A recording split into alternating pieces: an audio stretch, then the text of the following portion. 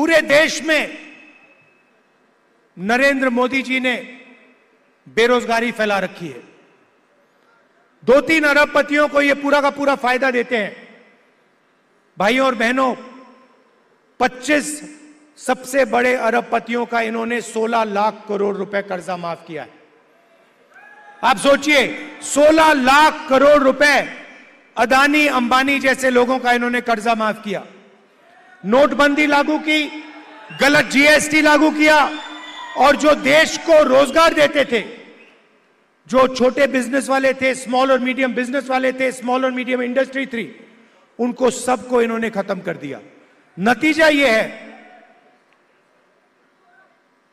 कि हिंदुस्तान में कहीं भी रोज़गार नहीं मिल पा रहा है। और यही हालत यहाँ जम्मू कश्मीर में है। अगर जम्मू कश्मीर का युवा रोज़गार चाहता है तो नरेंद्र मोदी जी की सरकार रोज़गार नहीं दे पाती है। ये सच्चाई है।